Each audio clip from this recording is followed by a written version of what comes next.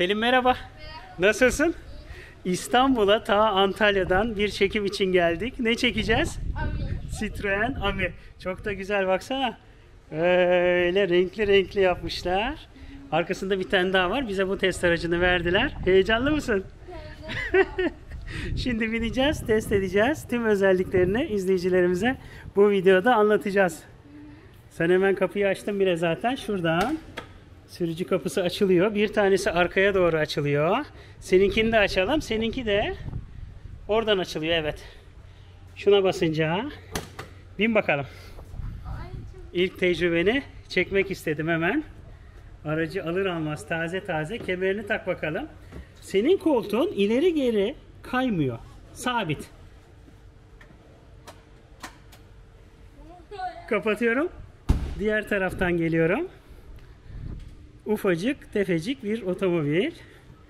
Benim kapım şöyle geriye doğru açılıyor. Onun da mantığını anlatacağım. Oradan silecek suyu konuyor Selimcim. Tamam. O kapağı tam oturturuz şimdi. Evet kapağı oturttuk. Rahat mısın orada? Evet. Bak benim sırt çantam var. Orada hemen sıcağı sıcağına gösterelim. Bak bir askı var turuncu. Bunu oraya asabiliyorsun şuradan. Aa, 10 evet. kilo taşıyor bak şuradan. Hı hı. Buraya asabiliyorsun onu. Ve 10 kilo taşıma kapasitesi var gördün mü? Evet. Şimdi araca biniyorum ve sürüşe çıkıyoruz. Araca bindim. Kapıyı şuradan şöyle kapatıyoruz Selim. Camlarımızı açalım. Camlar kelebek tip. Bak şöyle. Güzel değil mi? Evet. yani güzel mi kötü mü bilmiyorum. Araçta minimum elektrikli donanım var. Minimum. Hatta radyo falan bile yok. Onu göstereceğiz. Şimdi şuraya anahtarımızı takıyoruz. Önce yarım çeviriyoruz. Şu gösterge tablosu bir kendine geliyor. Bu arada tam şarj etmemişler bize maalesef. 55 kilometrelik range var. Frene basıp bir kere daha döndürdük. Ready yazdı. Yani hazır. Şurada el freni var. El frenini çekiyoruz ya da indiriyoruz daha doğrusu. Burada da R, N, D e, şanzıman konumları var. N'deyken bırakılıyor. D'yi aldık. Şurada D yazdı ve artık gidiyoruz. Evet. Hazır mısın? Evet ben de çok. Yolculuğumuza çıkıyoruz. Hı hı.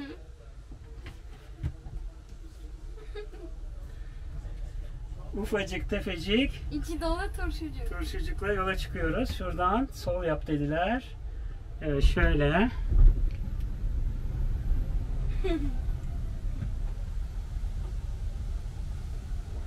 Ufacık bir şey. Tarabya'dan aldık aracı. Şuradan sahile doğru gidiyoruz. Evet. Evet yola çıktık. Nasıl? Çok komik. Aynalarımızı ayarlamamışız yalnız. Şuradan elle ayarlanıyor bak ayna. Heh, bunu ayarladım. Şunu da şurada durayım. Güvenlik sıkıntısı olmasın. O aynayı da elle ayarlayayım şurada. Dörtlüleri yakalım. Aynalar elle ayarlanıyor. Hop. Biraz yukarı. Biraz daha yukarı. Evet aynamı da ayarladım. Gidebiliriz. Bir basalım mı? Olur. Maksimum 45 km saat hız yapıyor zaten. Şu an 38, 39, 40, 45 oldu. E yokuş aşağı bir 46, 47'yi gördük. Evet. Motosiklet bizi geçti. Zaten elektrikli motosiklet olarak geçiyor. evet. İnşallah kameraya çok rüzgar sesi gitmiyordur. Çünkü camlar açık, klimamız yok. Maalesef sıcak bir havada çekim yapıyoruz. Mecbur bu kelebek tipli camları açtık. Çok şirin. Full şarjla 75 kilometre menzil veriyor. Yani mahalle içinde İstanbul'da bir iki mahalle arasında falan gayet yeterli bir menzil bence. Piller 220 volt ev tipi prizden 3 saatte full doldurulabiliyor. E tabi ilgi odağı alıyoruz. Şu an herkes bize bakıyor. evet. Korna çalanlar oluyor. Neden korna çalıyorlar baba? Bilmem. Belki beğendiklerini İfade, ifade etmek için olabilir. Frenler biraz sert.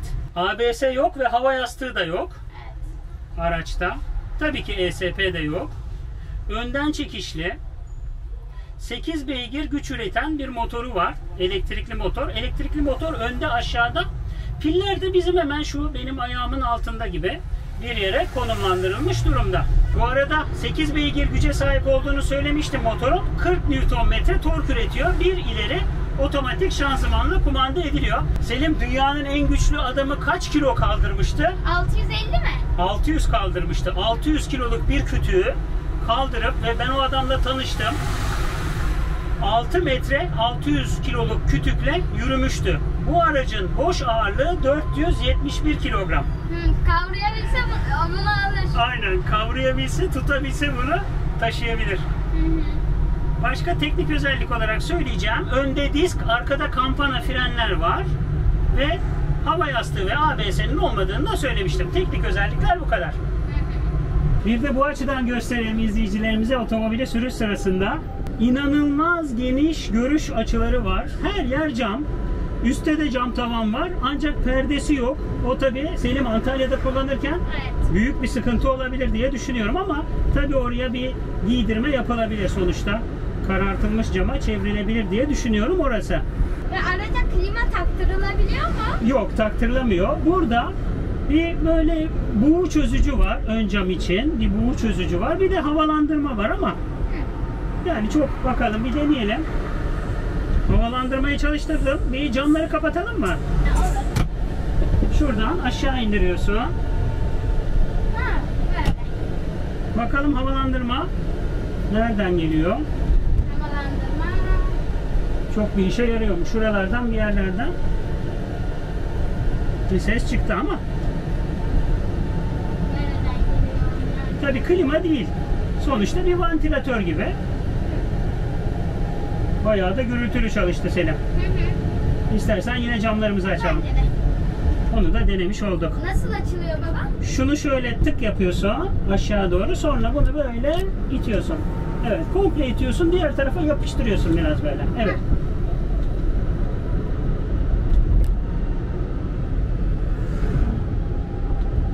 Özellik bunu lansman videosunda da söylemiştim. Bakın sinyal veriyorsunuz. Dönüyorsunuz.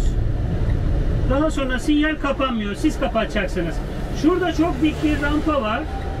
O rampayı bakalım çıkacak mı? Vantilatörü kapatayım. Selim. Sonuna kadar bastım. Sinyali kapattım. Eyvah eyvah. 15 ile. Ama çıkıyor. Vallahi çıktı. Bravo Ami. Bu arada Ami Fransızca arkadaş demek. Vantilatörü de Selim keşfetti şuradan. Şuradan hava veriyor. Evet çıktık. Bravo arkadaş. Ha, bra- Bravo arkadaş. Bayağı güzel tırmandı. Bayağı dik bir yokuştu. Bilenler için söyleyelim. İstinye'de o Türkiye Futbol Federasyonu'nun biraz ilerisinde hemen sağa doğru çıkan dik yokuştan çıktık. Merak ediyorduk çıkar mı diye. Çıktı. Biraz tabii ki yavaş çıktı ama çıktı. Burayı 22 ile çıkıyor. Orayı 15 ile çıktı. Burası tabii ki biraz daha e, rampası daha düşük. O çok daha dikte. Evet şimdi tekrar oraya döneceğim. Bu arada dönüş çapının ne kadar az olduğunu size göstereyim. İstediğiniz her yerden şu şekilde dönüş yapabiliyorsunuz. Yaklaşık 7 metreden biraz fazla bir dönüş çapı var. Sinyali tabii ki kendimiz uf tekrar kapattık. Orada bayağı Sert. şey olmayan e, kurallara uygun olmayan bir rampa e, kasis vardı. Orada bayağı zıplattı. Nizami olmayan kelime şimdi geldi aklıma.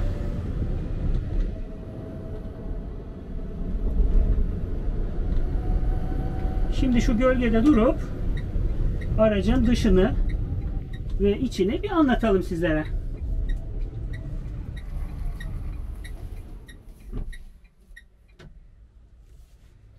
Durduğumuzda N'ye alıyoruz ve el frenini çekiyoruz. Selim kapını nasıl açıyorsun biliyor musun? Şurada bir kol var. Bu kolu çekiyorsun ve kapı açılıyor. Bu kapatmak için, bu açmak için. Fileleri göstereceğiz izleyicilerimize. Benim kapı kolum da şuradan. farklı yerden daha doğrusu kapım oradan açılıyor. Hemen göstereyim. Kapı işlerinde çok fazla eşya alabilecek şöyle fileler var. Gayet güzel bir özellik. Selim aracın önü ve arkası aynı. Bak farlar yanıyor bilerek kapatmadım kontağı. Farlar böyle yanıyor. Hemen arkaya geçelim. Arka tarafta da aynı tasarım söz konusu. Sadece beyaz ışık değil kırmızı ışık var. Önü arkası aynı ve sağı solu da aynı. Kapılar da aynı. O yüzden bir kapı normal açılıyor, diğer kapı geriye doğru açılıyor. Yani menteşeleri yani şu kapıyı al. Menteşesinden sök. Şurada tek menteşe var. Oradan sök. Diğer tarafa takabilirsin. Çünkü diğer tarafa taktığında menteşesi şurada kalıyor. Aynı kapıyı sağa sola takabilirsin. Bu da Fas'ta üretilen bu otomobil için yedek parça konusunda çok büyük avantaj sağlıyor. Bu arada yankı yaptı sesim. Şuradaki duvardan. Senin tarafından tekrar bahsedecek olursak bu arada kapılar kilitlenebiliyor. Twizy'den bir farkı. Twizy kilitlenmiyor bildiğiniz gibi.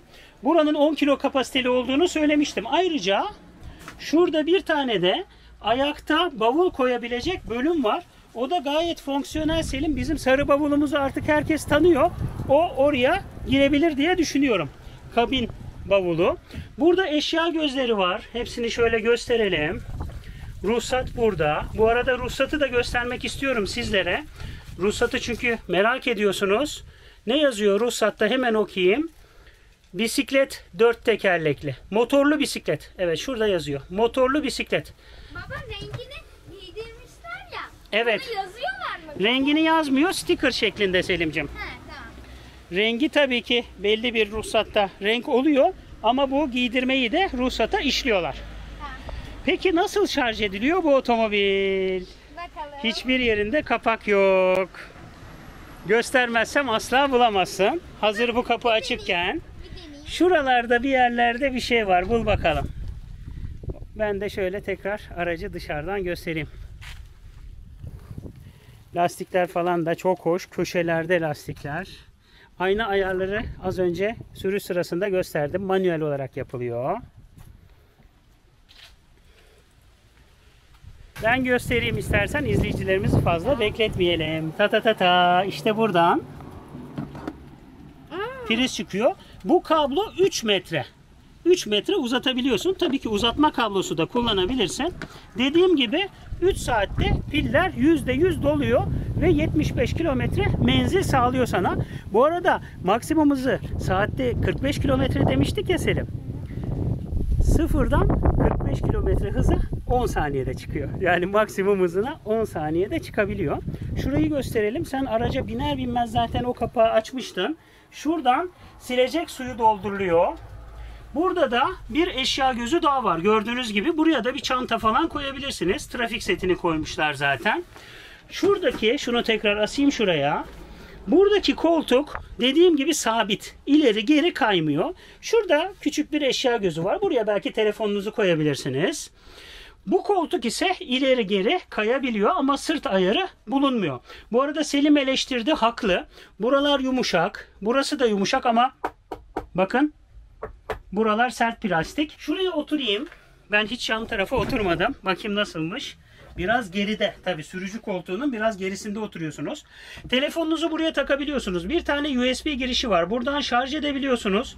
Ayrıca biz yanımızda getirdik ama şu an telif hakkı çiğnemeyelim diye göstermiyoruz. Buraya portatif bluetooth hoparlör takabiliyorsunuz. Koyabilirsiniz. Burası bir bardaklık gibi. Ve telefonunuzdan oraya müzik vererek güzel bir müzik çalabilirsiniz. Çünkü otomobilde hoparlör, radyo ya da herhangi bir renkli dokunmatik ekran bulunmuyor. Dediğimiz gibi burada buğu çözücü, burada havalandırma var ama havalandırmayı klima olarak algılamamak gerekiyor. Pedalları göstereyim. Buradaki şeyleri gösteriyordum. Kapaklı gözleri. Bunlar gayet faydalı ve kapı içindeki tabi filelerde oldukça yararlı. Baba bir şey söyleyeceğim. Şun e, priz var yani. Evet, E, mesela aracı e, e, hani ev tipi priz ya. evet. Şarj etmek istiyorsun. Gece aracı kilitleyip evine gideceksin. Hı hı. E, peki nasıl? Ha, çok güzel soru. Çok güzel soru. Hemen göstereyim. Geliyorum. Unuttum onu göstermeyi. Bu prizi çıkardıktan sonra bak şurada bir yer var. Şu prizi çıkardığını varsay. Bak şurada bir yer var. Oraya takıyorsun. Bak prizi tut şimdi sen. Kapı kapanıyor. Ve kilitleyebilirsin. Gördün mü? Çok güzel. Ama çok güzel bir soru sordun. Çok akıllı bir soruydu. Tebrik ediyorum seni. Ve unuttum onu söylemeyi. Gerçekten önemli bir detay. Tekrar oradan çıkartıp şu şekilde içeri koyabilirsin. Koyar mısın? Ben elimde kamera olduğu için koyamıyorum. Buraya kadar cam tavan var. Ama buraya bir böyle karartıcı kaplama yapmak gerekiyor. Çünkü perdesi yok. Yani çok sıcak havalarda gerçekten başınız pişebilir. Tek silecek var. Arkada silecek var mıydı? Göstermedim. Ben de merak ettim. Hemen onu göstereyim. Şöyle geldim. Evet arka camda silecek yokmuş. Selim otomobilin dışı ve içiyle ilgili anlatacaklarımız bu kadar. Fazla anlatacak bir şey yok. Şimdi tekrar sürüşe devam edeceğiz. Keşke sen kullanabilseydin. Heh, onu da anlatayım. B1 sınıfı ehliyetle Türkiye'de 16 yaşından itibaren kullanılabiliyor. Tamam. Yani sen şimdi 9,5 yaşındasın. 16 yaşında olsaydın sen de kullanabilirdin. Ama Avrupa ülkelerinde 14 yaş biliyor musun? 14 yaş. Türkiye'de 16. Biz tabii Türkiye'de yaşadığımız için o veriyi söyleyelim izleyicilerimize. B1 ehliyet 16 yaş gerekiyor. Fas'ta üretildiğini biraz önce söylemiştim. Fas'ta üretilen bir otomobil. Gayet güzel, minyon. Bu bir mikrokar zaten. Mahalle içinde ulaşım alternatifi olarak kullanabileceğiniz. Tabii ki otomobil olarak sayılmıyor. Söylediğim gibi ruhsatta da başka türlü yazıyor zaten. Bu bir ailenin ikinci, üçüncü aracı olarak mahalle içinde kullanabileceğiniz bir araç. Evet, tekrar binersen tekrar yolumuza çıkalım.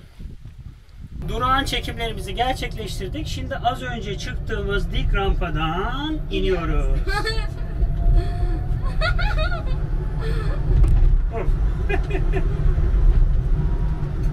Altta bir kasis olsa parçalanırsın burada. evet. Olsa. Kasislerden dikkatli geçmek gerekiyor tabii ki. Aha. Şimdi tekrar sahile doğru inelim. Bu arada batarya kapasitesini söylemeyi unuttum.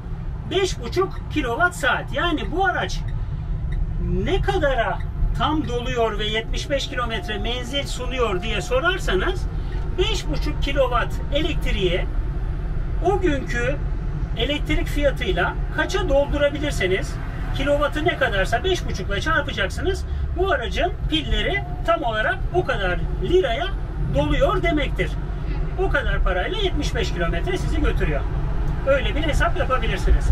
Bu arada saklama alanlarını da gösterdik sizlere. Toplam saklama alanı hacmi 63 litre. 63 litre depolama alanınız var bu araçta. Biraz da garantilerden bahsetmek gerekirse aracın garantisi 2 yıl sınırsız kilometre boyunca.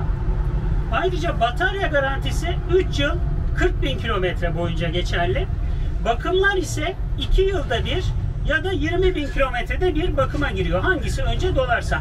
2 yılda bir bakıma giriyor Selim. Ya da 20 bin kilometre. Çok iyi değil mi? Yani bir satın alıyorsun daha sonra uzun süre bakım yaptırmadan kullanabiliyorsun. Sadece silecek suyu koyarsın. Bu arada bu araç sadece ve sadece internetten satılıyor. Ne? Evet, internete giriyorsun Citroen.com.tr'ye. Aracını seçiyorsun. Zaten tek tip araç var. Kaporayı yatırıyorsun. Araç tedariği sağlandığında devamını ödüyorsun. Diğer kalan kısmı da ödedikten sonra aracı senin evine ya da iş yerine hangi adresi verirsen hediye paketi şeklinde getiriyorlar. Fiyatı Ağustos 2022'de bu çekimi gerçekleştiriyoruz. 219 bin lira. Tamam. Selim çok merak ediyordun bu aracı. Belli bir süredir kullanıyoruz. Fikirlerini alabilir miyim? Çok sevimli bence. Yani aracı e, almak için sabırsızlıkla bekliyordum. E, test almak için. Evet. Yani e, tamam süspansiyonu falan güzel değil ama çok tatlı bence. Hı hı. Minik. E, eğer iki kişiysen fonksiyonel. E, eşya gözleri çok güzel. Dışı çok tatlı. Benim yorumlarım bunlar. Çok güzel. Teşekkür ederim. Ne demek? Çok sempatik bir araç. Ben de yorumlarımı ekleyeyim. Kullanımı da keyifli. Özellikle şehir içinde zaten hani şehirler arası yola çıkması, otoyola çıkması bu arada onu da ilave edeyim yasak. bu aracın. Hani böyle biz mesela Antalya'da yaşıyoruz. Bizim mahallemizde bizi sinemaya da götürür, markete de götürür. Selim'i okula da götürüp getirebilirim. Tabi ama Maya ile beraber iki kişilik bir yer yok yani. Toplam üç kişi binemezsiniz. İki kişi bir yere gider gelirsiniz. Hava yastığı olmadığı için Selim yanımda da oturabiliyor. Emniyet kemeri de nizami şekilde kullanıldığı için. Yani keyifli bir araç. Ama tabii ki bazı, tabii ki donanım sıkıntıları var. E, klima olsaydı çok daha güzel olurdu. Telefonunuzu buraya takabiliyorsunuz. Ancak herhangi bir tabii ki e, renkli dokunmatik bir ekran bulunmuyor. Bu bir mobilite çözümü olarak mahalle arasında kullanılabilecek bir araç. Keşke şu tavan tabii ki biraz daha perdeli falan olsaydı. Antalya sıcağında düşünemiyorum. Bugün İstanbul'da bile bayağı bir terledik. Bu çekim sırasında şunlar çok yeterli olmuyor açıkçası. Vantilatör de maalesef çok fazla yeterli olmuyor. Ama şöyle düşünmek lazım. Selim'e de biraz önce onu söyledim. Yani bu bir elektrikli motosiklet diye geçtiği için zaten